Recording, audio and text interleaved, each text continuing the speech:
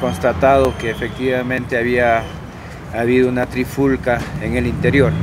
Eh, producto de las investigaciones se ha logrado establecer que han sido utilizados estos artefactos pirotécnicos llamados tronadores. En total son cinco artefactos pirotécnicos utilizados en el interior, el cual habría ocasionado pues que todas las personas concurrentes a dicho evento eh, se huyan despavoridamente por por lo sucedido.